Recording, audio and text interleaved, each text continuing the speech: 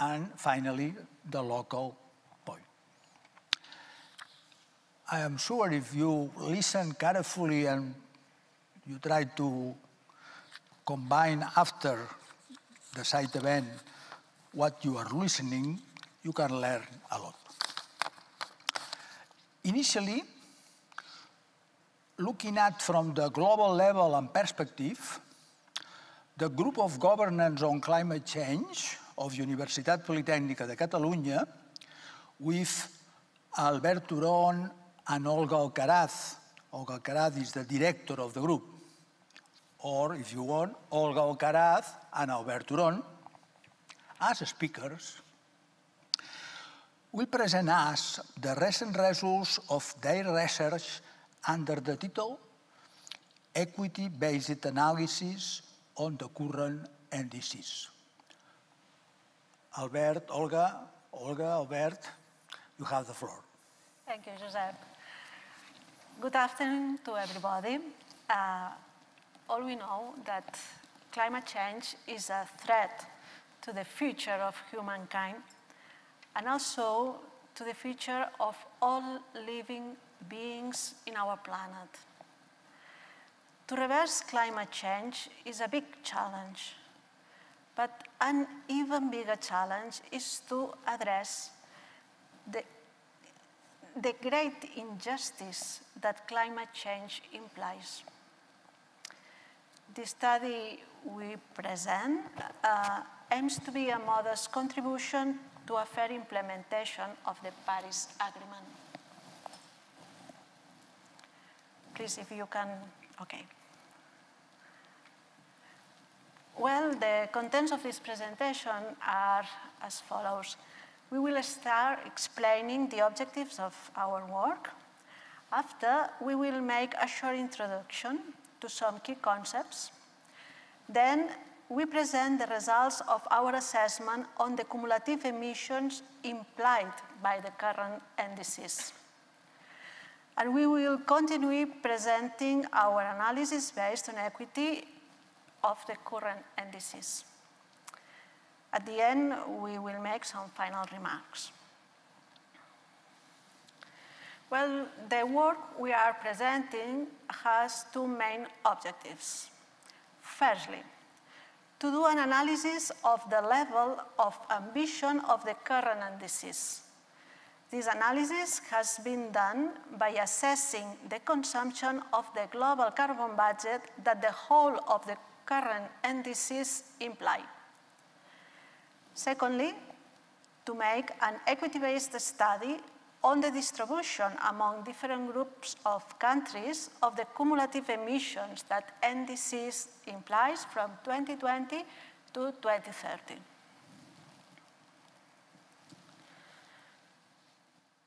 In this study, we calculate cumulative emissions and we compare with the global carbon budget. The global carbon budget is a key concept that links the cumulative carbon dioxide emissions we release over the time with the temperature increase these emissions will cause. When we talk about the remaining carbon budget, we are referring to the total quantity of carbon dioxide emissions or cumulative emissions that could still be emitted while keeping warming below a specific temperature level. Moreover, from the sixth assessment report, we know that the remaining carbon budget compatible with the 1.5 degrees goal amounts to only 400 gigatons of carbon dioxide. So, one way of measuring ambition at a global level is to measure the rate of consumption of this global carbon budget. And it is worrying to see how quickly we are consuming this budget. In fact, we are emitting around 42 gigatons of carbon dioxide per year. Referring to the nationally determined contributions, we all know that they are the building blocks of the Paris Agreement, and that according to the Paris Rulebook, parties have to explain how they consider that their NDCs unfair and ambitious. And when we, are, when we talk about ambition in mitigation, we talk about how far we are to the Paris Agreement temperature goal. Here we present an estimate of the cumulative carbon dioxide emissions that will be released into the atmosphere between 2020 and 2030 according to the emission mitigation objectives from the NDCs. The result is that the current NDCs will imply an overall of 401 gigatons of carbon dioxide. But in order to analyze how far we are from the 1.5 goal, we also have to consider the emissions from international civil aviation. ICAO is committed to achieve carbon neutral growth from 2020. And according to this commitment, by 2030, they will have released around 7 gigatons of carbon dioxide. Also, we consider the commitment of the International Maritime Organization of reducing emissions by 50% in 2050 with respect to the 2008 level. According to this commitment, the International Maritime Navigation will have released by 2030 7 gigatons of carbon dioxide. In other words, the emission mitigation strategies currently on the table let us led, led us to a total cumulative emissions of 415 gigatons of carbon dioxide. This allows us to affirm that by 2030, humanity will have not only exhausted, but even exceeded by 15 gigatons the global carbon budget compatible with limiting the increase of temperature to 1.5 degrees. If we do not initiate drastic emission reductions immediately and we postpone action until 2030, then we will never achieve the 1.5 degrees temperature stabilization target. But now I will pass the floor to my colleague Albert Turon. But uh, uh, first, I, I, would like to explain some key concepts around equity in mitigation. In relation to mitigation, the fifth assessment report of the IPCC identifies four main dimensions of equity. The first one is the dimension of equality. The principle of equality based on the fact that all inhabitants of the planet are equal. In relation to mitigation is usually specified to mean having the same number of emissions per capita. The principle of responsibility, in accordance with the idea that it is necessary to compensate for the damage caused. Is transferred to mitigation, calling upon those countries that have historically had higher emissions per capita to be the ones that lead the mitigation of said emissions. The capacity principle, based on the idea of distributive justice, is interpreted to be counting the economic capacity to face climate change mitigation and adaptation measures. The fourth principle, it's a very important principle, is the right to sustainable development, which aims to preserve the atmospheric space still available for those sustainable development initiatives that are so necessary and are still pending in some countries of the world. Well, Albert, you have the floor. Thank you. Uh, thank you, Olga. Um, the second results that we are showing uh, here today are those uh, from an equity-based uh, study on how these uh, 401 gigatons of CO2 are distributed among different groups of countries. we are classifying all these countries of the world according to some criteria. First, by their income level, then uh, whether they belong or not to the Annex 1 of the Convention, and finally, uh, geographically. Um, the question that we want to, to ask ourselves today is how can we assess if the current NDCs are made according to equity criteria? To do so, we are going to look at three different indicators uh, that we can see here. The first one is the, the share of global historical cumulative emissions that each group of countries represents. the second uh, one is how this amount uh, has changed uh, due to the NDCs, uh, to the NDC application period. And finally, the share of global population that each group of countries uh, represents. Uh, with, these uh, with these three indicators, we are going to assess the equality and responsibility dimensions of equity uh, that Olga just explained. The other two, uh, which are um, the capacity and the right to development, can be assessed when countries are grouped according to their income level. Uh, those countries with a higher income level are supposed to have a higher capacity and therefore are meant to uh, make more ambitious commitments according to the equity criteria that, that again, Olga just uh, explained to us. Um, and well, here is where the things become a little bit dense. I'll try to make uh, them as smooth as possible, but uh, please keep always in mind that the numbers that we are gonna, going to to see from now on are not absolute figures, meaning we are not talking about the total emissions or the total population uh, of each group of countries, but we are uh, talking about the share that each group represents uh, from the total. Okay, um, now let me explain how do we assess these indicators.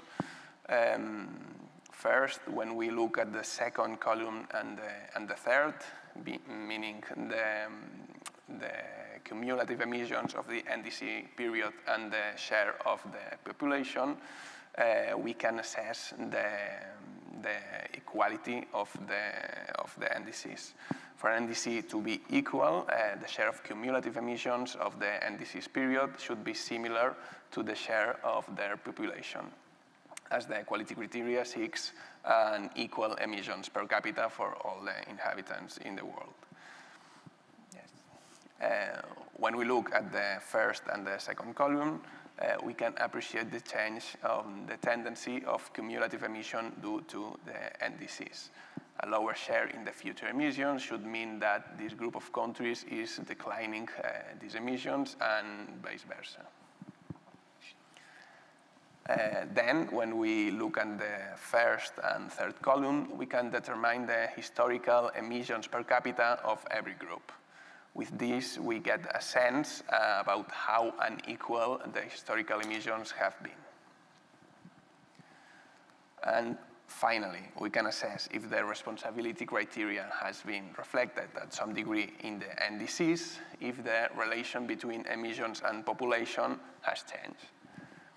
A group of countries is offering uh, some historical compensation if the share of historical emissions is higher than um, is higher than the share of population. So what we're seeing in the gray area.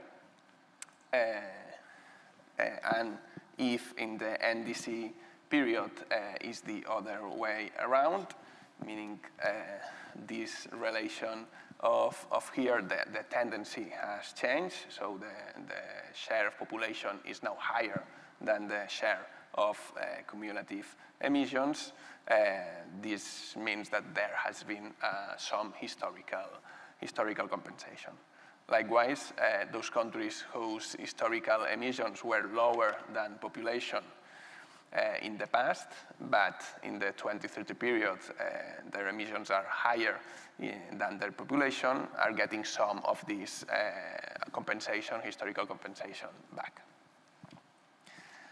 Okay, with all that being said, uh, let's start to see the, finally the, the results. First, uh, as I said, we are uh, going to, to assess the grouping with respect to the income level of the, of the countries. Let's start from the top with the uh, high income countries, which here we see in, in color yellow.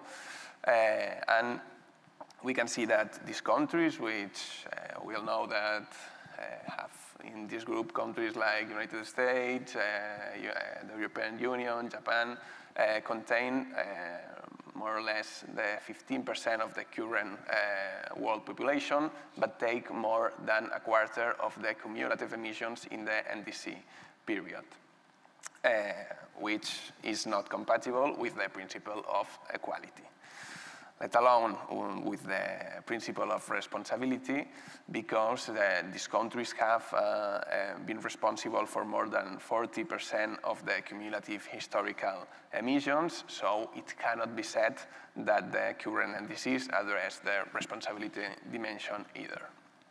Uh, then with the upper middle income, here in gray, countries like China, uh, South Africa or Brazil, we can uh, follow, uh, or we can see how it follows a similar pattern as the high income countries, although the percentage differences between the different columns are lower, but nevertheless, they neither achieve the equality principle nor the responsibility. And finally, for the lower middle income countries, countries like uh, India, Indonesia, Iran, and low-income countries like Sudan or, or Afghanistan, the situation is antagonistic to the one that we just saw. Um, these country groups contain more than half of the world population uh, right now, but uh, their emissions uh, are only a 30% of, of, the, of the world uh, emissions in the NDC period. Uh, and all that having a clear, uh, a clear deficit in the cumulative emissions because in the historical period they had uh, even lower emissions. Uh, well, excuse me. no, no. Uh, well, uh, what we can see with the grouping by income of the of the of, of the countries in the world is that uh, we cannot say that the, um, that the NDCs are uh, made in the light of equity because they do not respond to the uh, equality, neither the responsibility criteria. Yeah, now you can. Then uh, let's assess the second grouping that we that we are analyzing today, and this is the non-Annex 1 versus Annex 1 countries, which we all know that it's the way of the Climate Convention to speak about developing and developed countries. And here we can see a, a trend very similar to the grouping by income level. Uh, when we look at the share of population on non-Annex 1 countries, we can see that um, this is much higher uh, than the than the historical emissions. They have a much higher population than emissions. And uh, despite getting a bit closer to, to its share, uh, to this share, sorry, uh, in the NDC period, it's still not enough. Uh, then when we see the Annex 1 countries uh, have been emitting much higher uh, historically a much higher share of emissions than their population, so we cannot say either than looking at this distribution and this is done in the light of, of equity. And finally, we get to the last grouping, and uh, I'm finishing here, uh, which is the, the grouping by geographic, geographic distribution. Here we are seeing uh, more variety of, of situations. We'll start with the uh, North American and Oceania countries, which have a very similar situation that one with the high-income countries. Um, the equity criteria is not met because, uh, according to their NDCs, their emissions per capita are still way over than the world average. At the same time, uh, Africa's provision of emission is way under their population, so they should still have some carbon uh, space disponible. This is even more worrying because uh, their NDC emissions uh, are almost the same as the historical ones, so we don't, we don't see an evolution here. Uh, where we do actually appreciate some historical compensation is in the uh, Latin American countries, uh, coming from a situation in which their share of historical emissions is 1.3 percent higher than their population um, with the NDC, in the NDC period, with the application of the NDCs, uh, this uh, situation uh, reverts, and then we have a lower um, a lower emissions uh, share than the population one.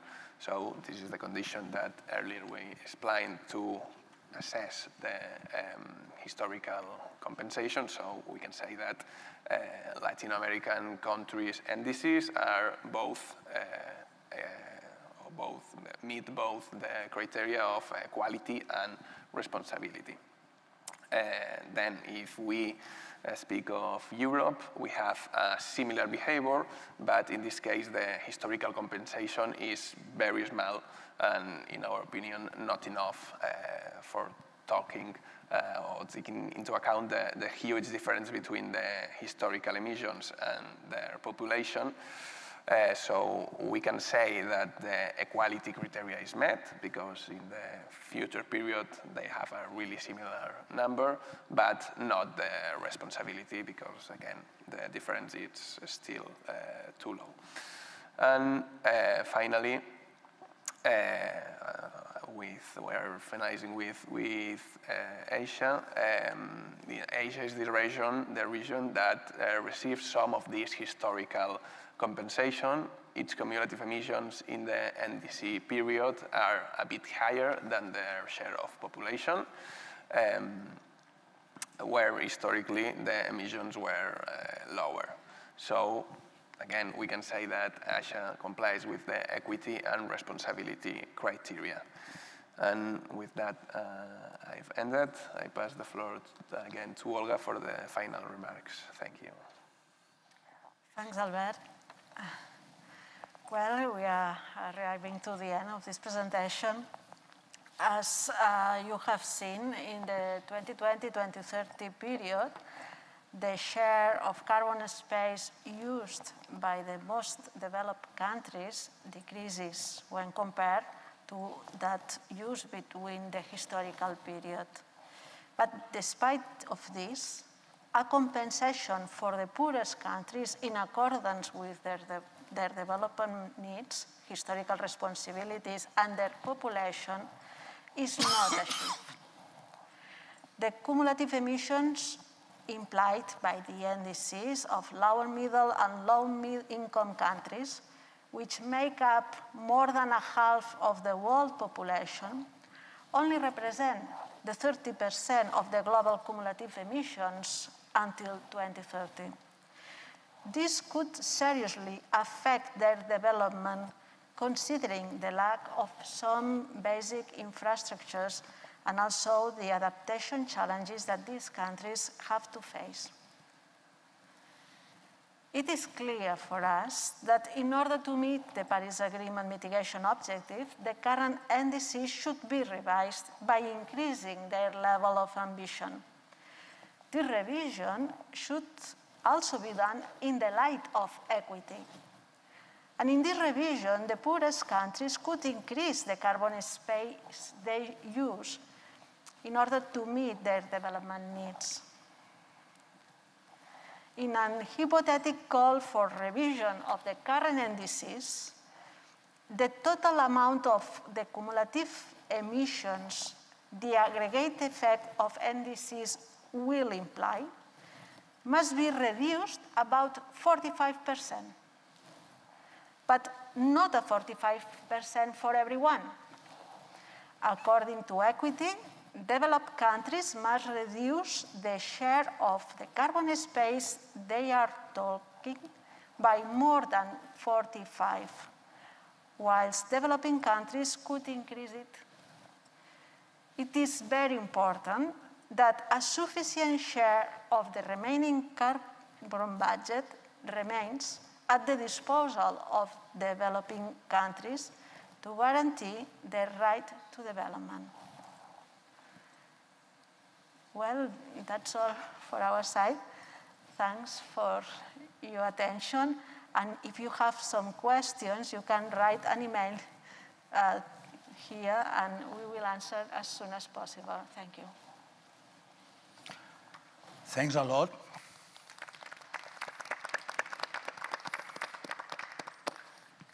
Thanks a lot, and you are uh, really uh, uh, adjust to the time that you have. So I appreciate very much your cooperation for the good running of the event.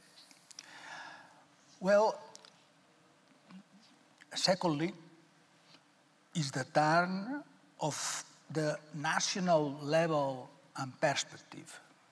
We have been the global perspective from the point of view that you listen. Now we move the scale and we move with the climate scorecard of EarthAction.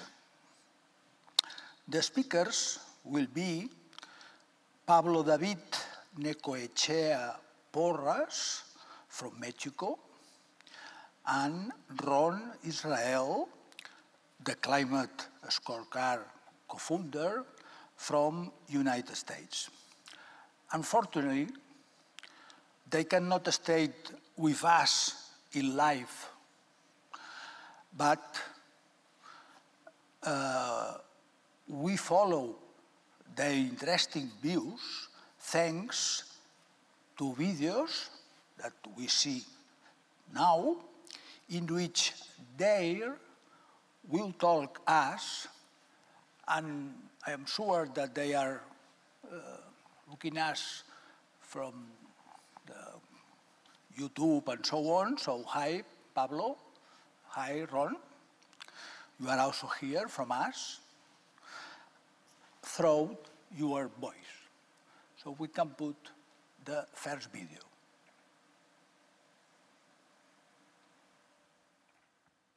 Hello. My name is Ron Israel.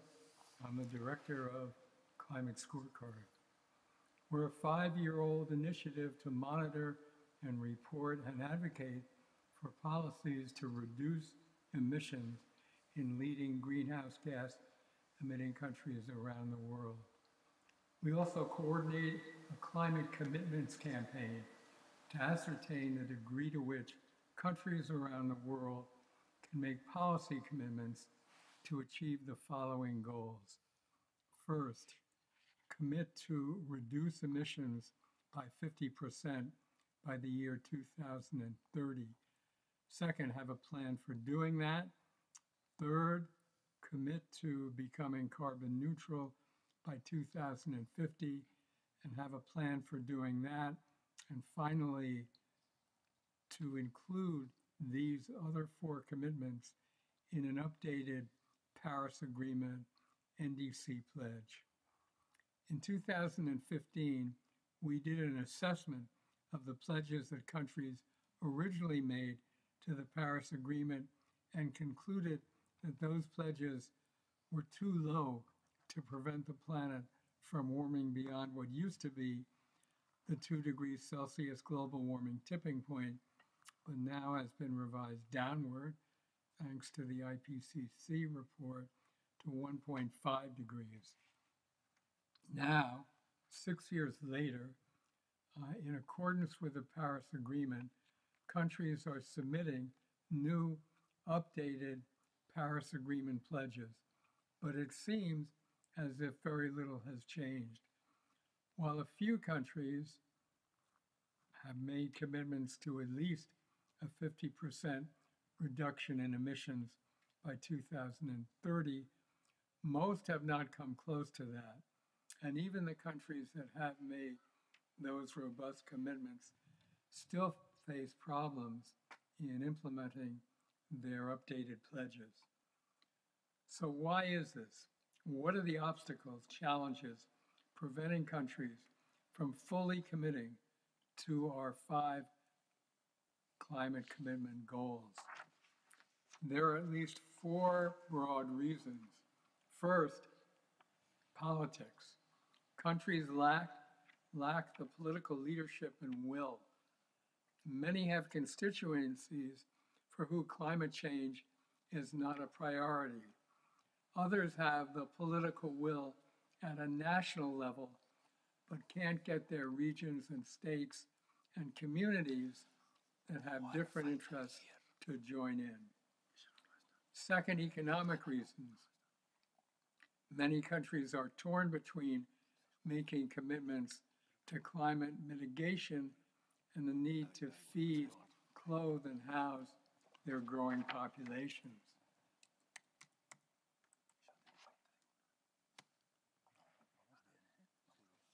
Third, resource commitments. Many countries lack the financial um, and technological resources needed to make uh, the policy changes that are required. Fourth, accountability. Most countries lack a focal point, a political body, a person who can be held accountable for ensuring that their countries reduce their emissions and fulfill their Paris Agreement pledges. Each month, Climate Scorecard publishes a report that analyzes the ways in which the countries we follow are addressing the challenges involved in making effective climate commitments. Last summer, in one of our reports, we asked our country managers to identify the biggest obstacles their countries faced in reducing emissions. Here's what some of them said. For example, Brazil, which has pledged a 40% reduction in emissions by 2030, yet has no plan for doing so, has been constrained by its government's hands off policy towards environmental regulation and its pro development policies. For example, taking land away from indigenous people and giving it to mining interests, letting large parts of the Amazon be clear cut for agriculture. China, which has the low level goal of peaking emissions by 2030, deals with the split between national policies, some of which are quite strong uh, in terms of mitigating emissions, and policies at the local level concerned about providing jobs and energy for citizens. India, which has made recently a pledge to become carbon neutral by 2070, but lacks the resources to mitigate climate change that it claims are owed to it by developed countries who shoulder the major responsibility for letting CO2, CO2 emit into the atmosphere. the United Kingdom, which has an ambitious goal of reducing emissions by 68%, but has not taken into, into account the need to change uh, mitigation mechanisms that take place at the household level that give rise to huge bursts of CO2 into the atmosphere. And the United States, my country, which has the goal of reducing emissions by 50 to 55 percent by 2030, but is letting politics stand in the way of getting there. It faces a divided Congress, which so far has not passed President Biden's uh, climate agenda legislation, and it faces states that really don't believe in the seriousness of climate change and don't want to deal with it as an issue. So what do we do about all this? First of all, it's important to remember the factor of, the very important factor of people power, especially in democracies at the ballot box where people can cast votes in favor of climate change leaders and policies, and always in every country in the streets in forms, form of political protests. Secondly, um, we need to stress the need that policies, climate change policies, and development policies are not polar opposites. They can be and should be in every country wherever possible made to be blended, to be integrated, that climate change policies need to be put into effect that also support development.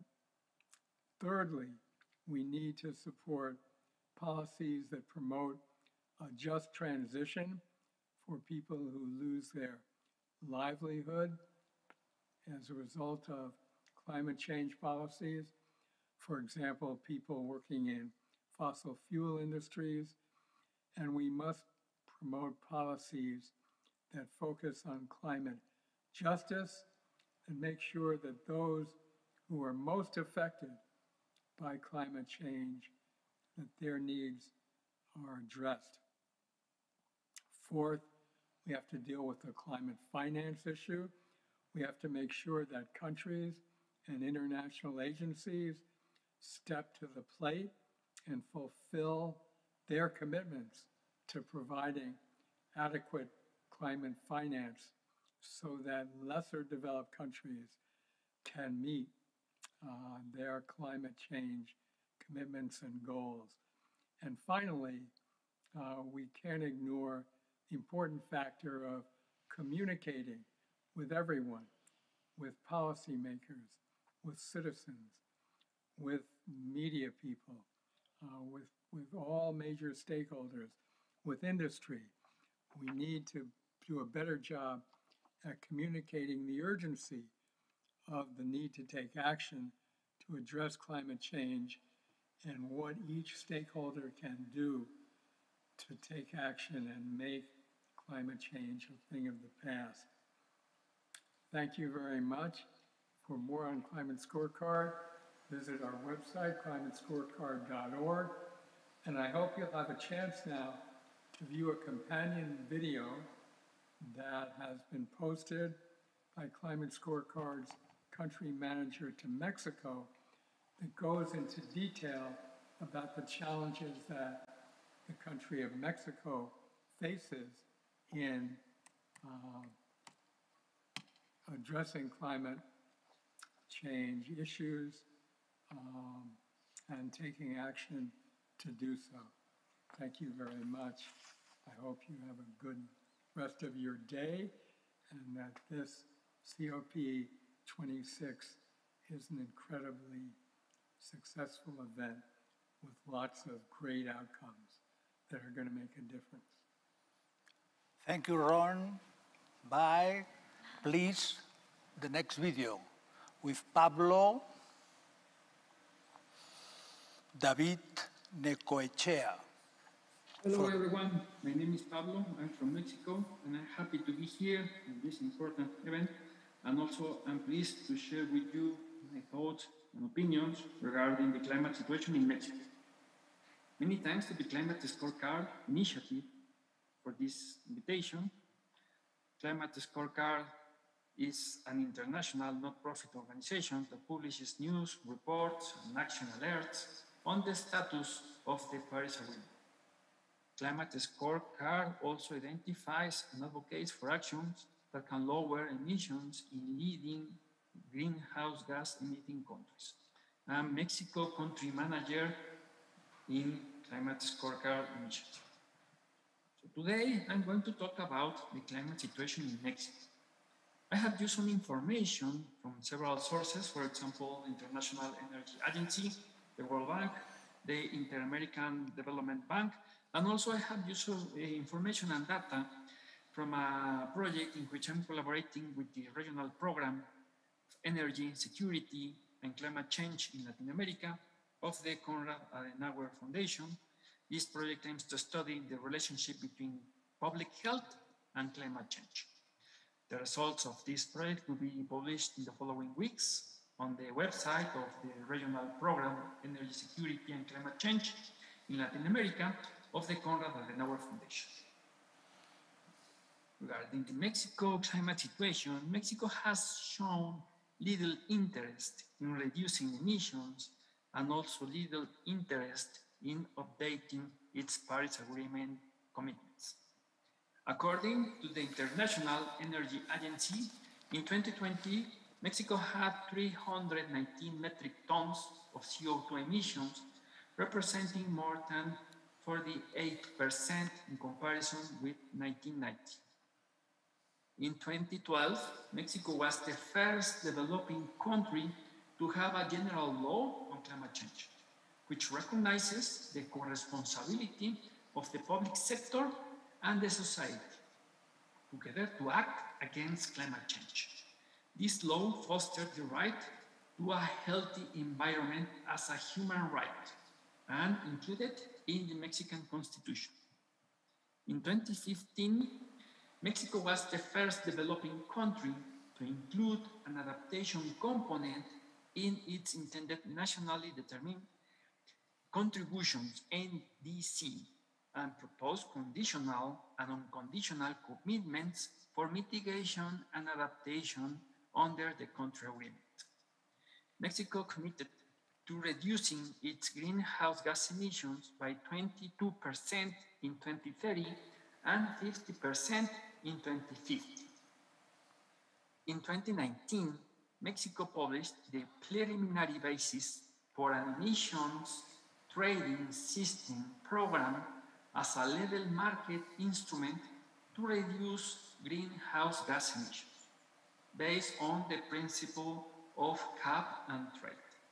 The government imposed a maximum limit or cap on the total emissions of one or more sectors of the economy, causing some companies in these sectors to hold a permit for each ton of greenhouse gas emissions emitted.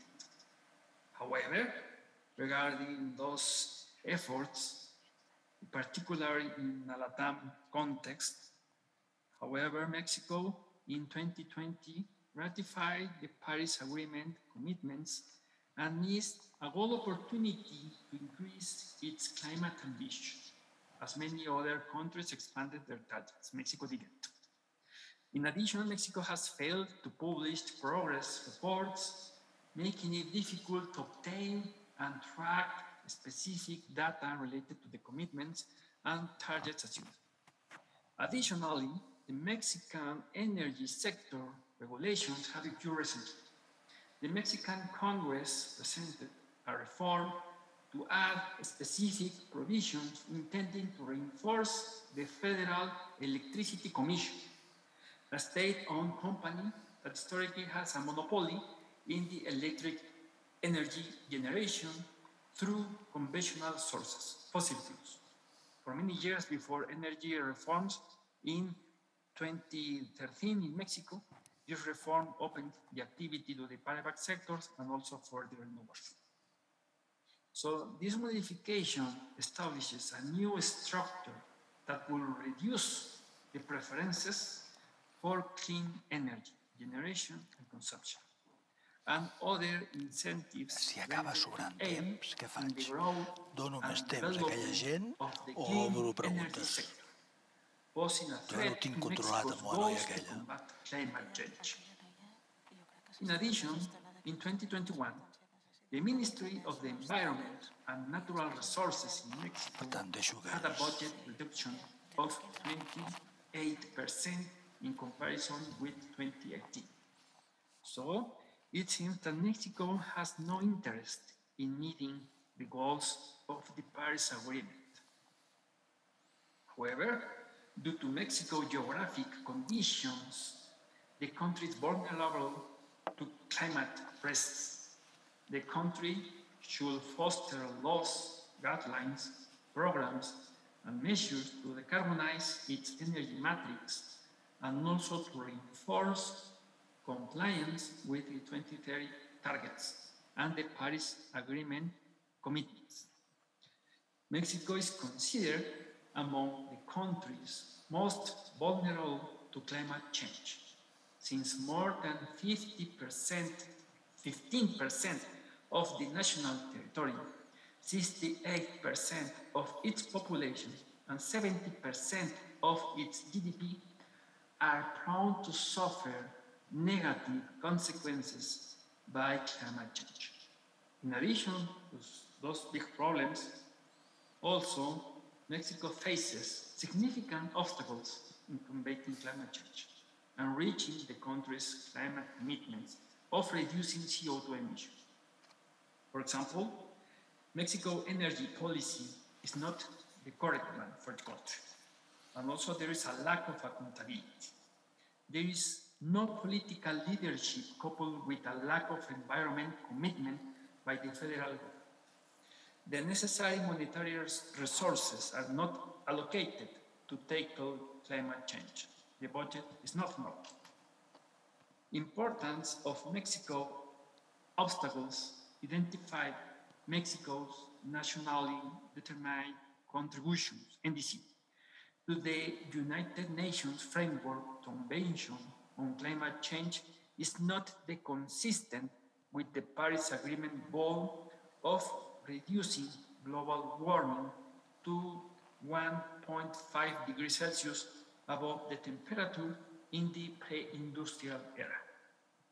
So, Mexico won't reach its emissions targets unless additional policies are endorsed, raising emission reduction targets and reversing the fossil fuel trend and expanding renewable energy.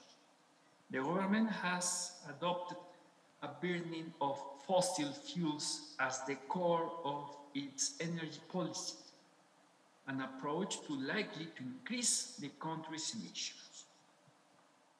Mexico's strategies that will help overcome climate change obstacles include, for example, changing the federal government's energy policy away from favoring fossil fuels towards prioritizing clean energy generation and consumption. Also, increasing the ambition of government policy to reduce greenhouse gas emissions.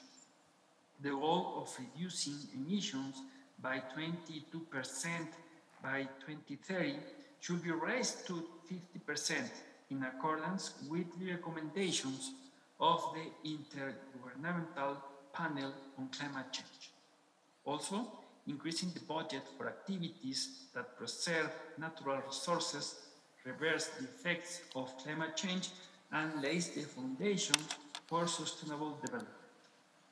Lastly, putting in place a carbon tax and incentivizing carbon markets. So, Mexico's energy policy and also climate policy require several legal and institutional adjustments to meet climate commitment goals. In consideration of Mexico's renewable energy potential, the government, the government has opportunity, an opportunity to carry out this shift in the decision making to, pos to position to need to tackle climate change as an opportunity to reduce emissions and environmental inequalities and produce cleaner energy through decentralized means. Thank you so much for your attention. It was a great opportunity to be here and to share these thoughts with you. And also I'm happy, I'm really happy to learn from you and also to bring best practices to my country in order to have a better world. Thank you so much and see you soon. Bye. Thank you, Pablo. we are going on time. So uh, finally, in the last part of our site event, we go to the local level and perspective under the common umbrella of all the site event. Of course, after the side event, all of us and all of you should do your own merge from the different perspectives. Now we have this approach to the local level with Asociación Proteger de Argentina uh, that um, they uh, present us with the following speakers. I don't meet all of them, so I can, hmm, you could present yourself, please. Sol García, Carolina Díaz, Vivian Lees y Richard Siren, que uh, sí que lo conocemos. And that will present us their local initiative to support indigenous communities in Argentina. All of us have the floor. Thank you, Chair. My name is Vivian Lis Piñero. Good afternoon, everyone. We are here on behalf of Asociación Proteger. Asociación Proteger is an NGO from Argentina that works with indigenous peoples back home. We would like to begin this presentation by listening to the voice of the cacique of an indigenous community from Argentina. We are here today on behalf of this indigenous community. We are here today to bring their voices to COP26. The cacique, the chief of the community, will tell us his names in his own native tongue, the Qom language. Yo me llamo en el idioma Nayetagán, eh, significa río correntoso. Eh, también tengo un nombre, un nombre de cacicazgo Tonolec. Entonces yo tengo dos nombres, uno de, de cacique y uno de, de, mi propio, de mi propio pueblo, que me llamo Nayetagán.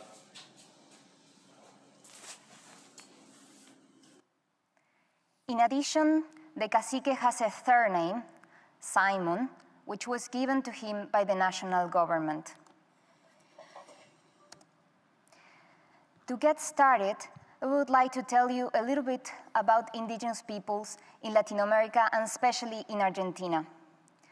According to the national census in 2010, 2.4% of the Argentinian population identifies as an indigenous person. This proportion is lower than the Latin American average of 8%.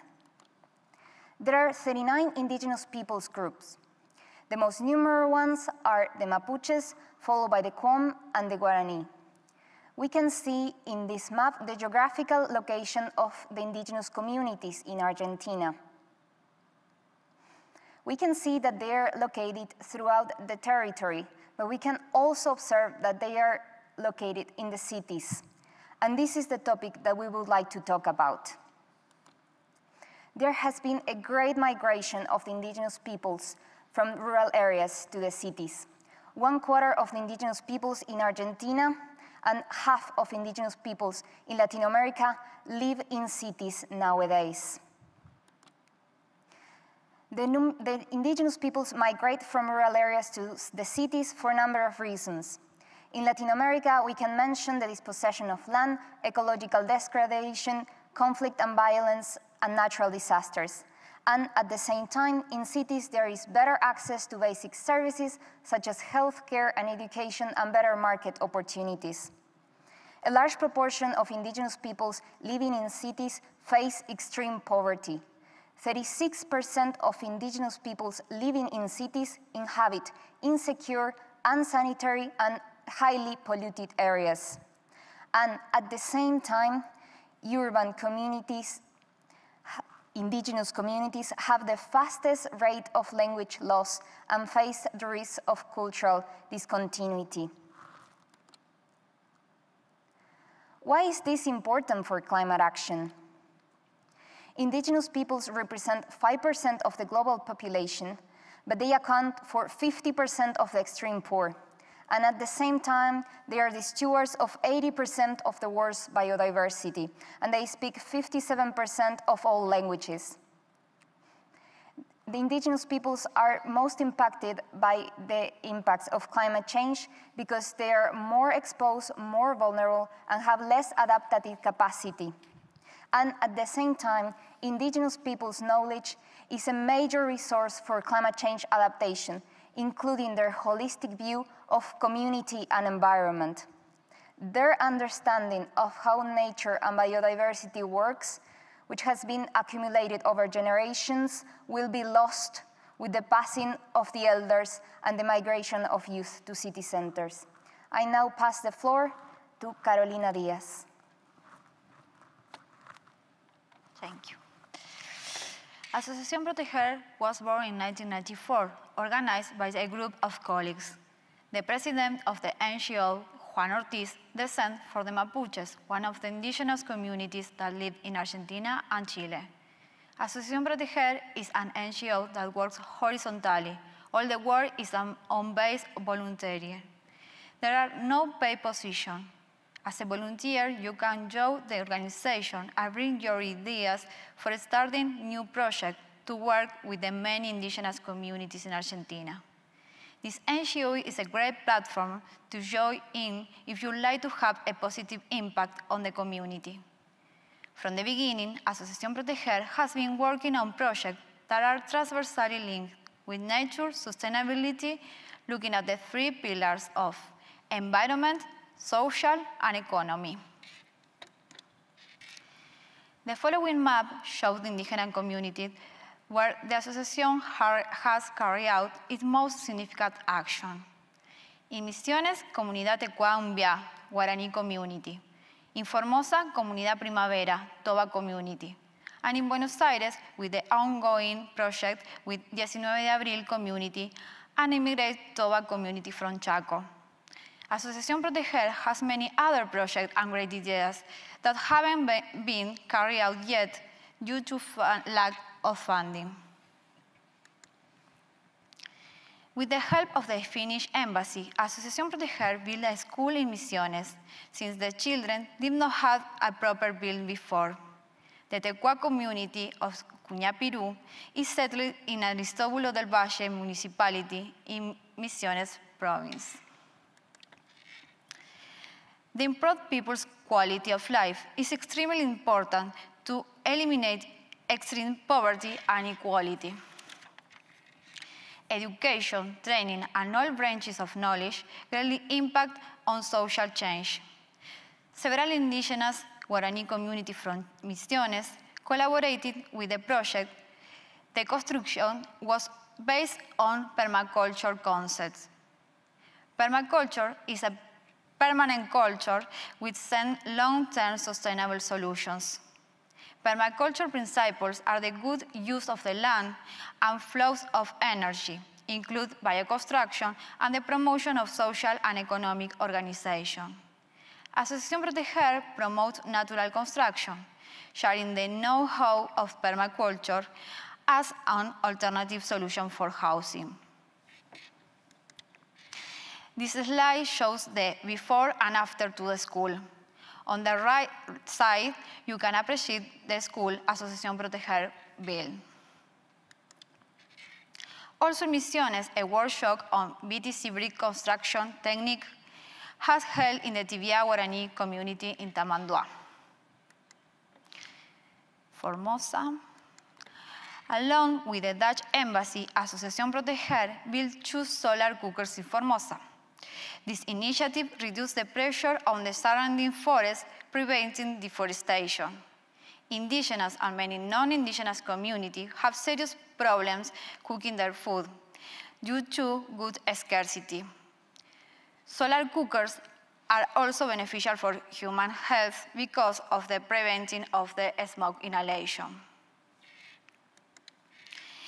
It was also a strategy to promote access to information on climate change, which allows them to have tools to mitigate extreme poverty. Now I will pass the floor to Sol Garcia. Thanks, Caro. Thank you, panel. The 19 de Abril community is originally from El Impenetrable Chaqueño in the province of Chaco. The indigenous community used to be nomad hunters with sustained economy.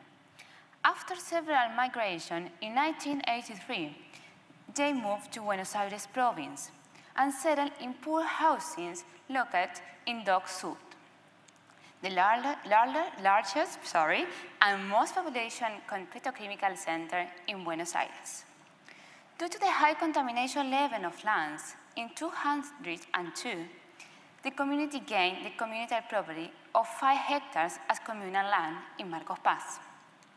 Two years later, in 2004, a public program called the Federal Houses Plan began the construction of houses for the community.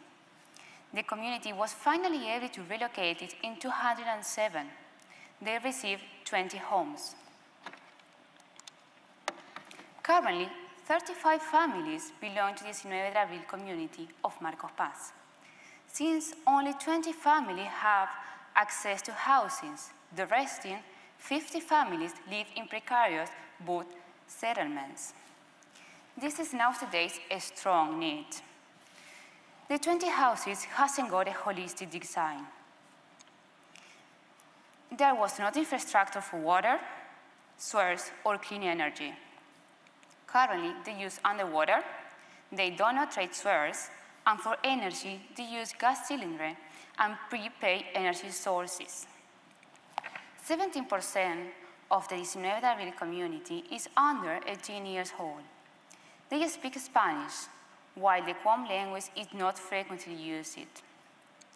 It is not taught in a school in the province of Buenos Aires, and currently only the caciques still speak the Qom language in the community. The community's basic rights, access to proper healthy service, housing, the healthy and decontaminated environmental, are violated. They daily face adversity. Some members of the community make a huge effort to support the community and strengthen solidarity between its members. The cacique transformed his family dinner room as a large room to feed the kids of the community. They prepare 120 meals per week. The food is donated by the group of university, university graduates and the cooking is in charge of the chief family. Another tool they have is art craft sales. The community make various art crafts which reflect the way connection with the Pachamama and tell us about the ancestral culture. In the photo to the left, you can see some of the art crafts that we brought to share with us, which are also displayed in the table of the left. You may come closer to take a look. As you can see, the crafts are beautiful, but unfortunately, only the chief has the knowledge to make them.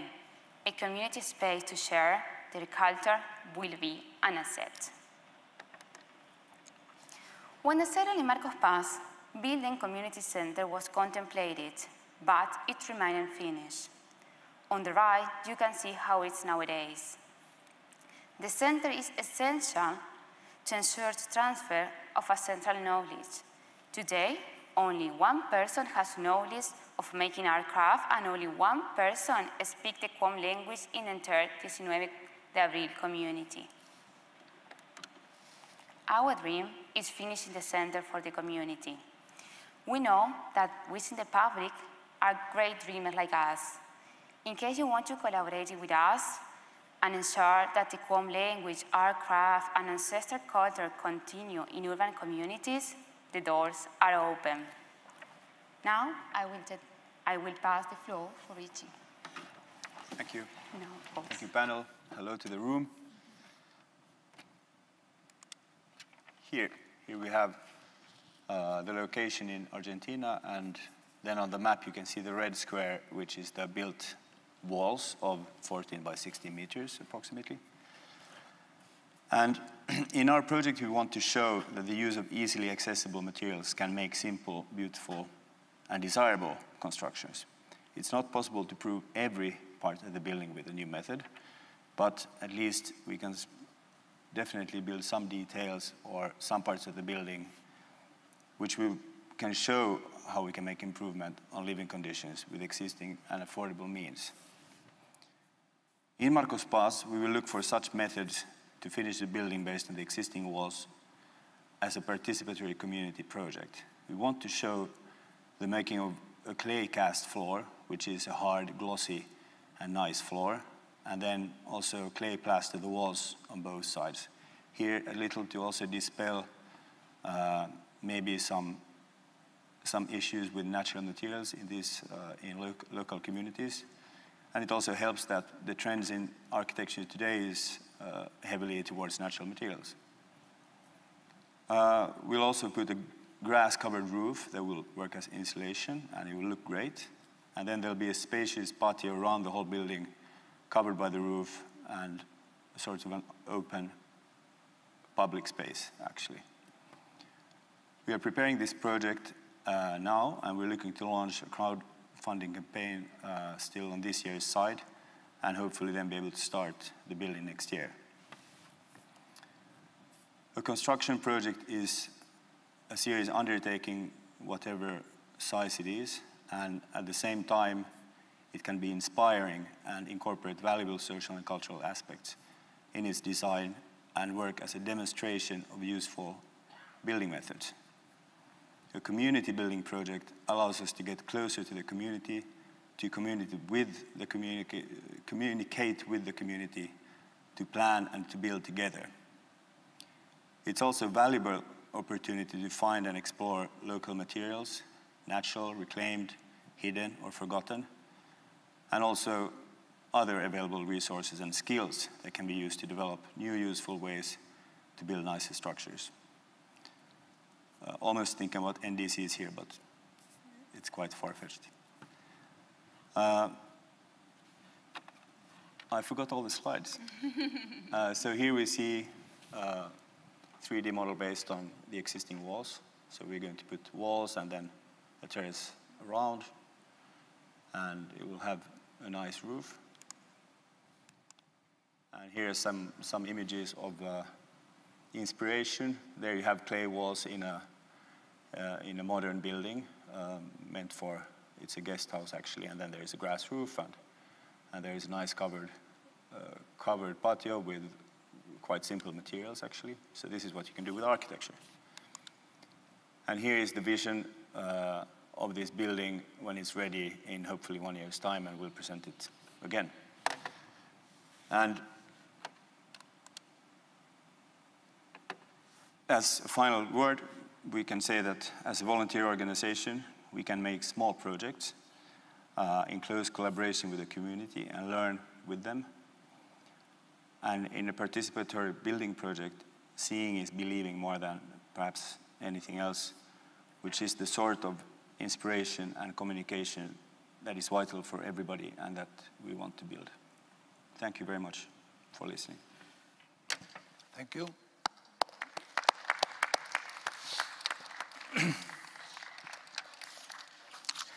anyway,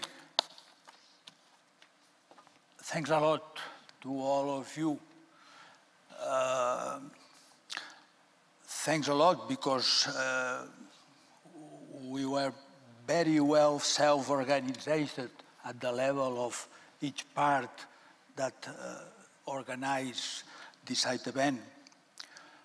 Let me congratulate Olga as the leading person and the leading group that works for to do possible this uh, merge process and site event.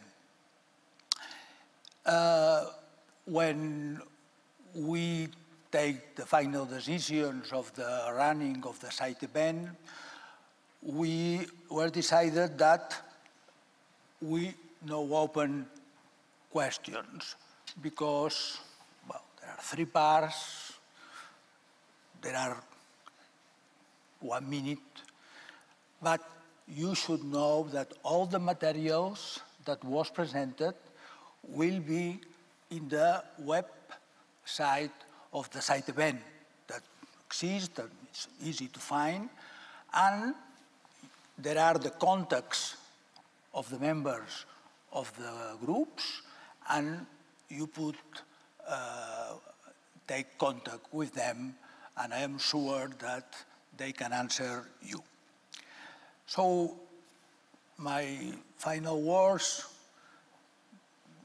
is not a summary, but it's clear, I think that uh, how urgent and important is climate action, but also how important is that this action should be fair. Thank you very much to everybody and see you soon.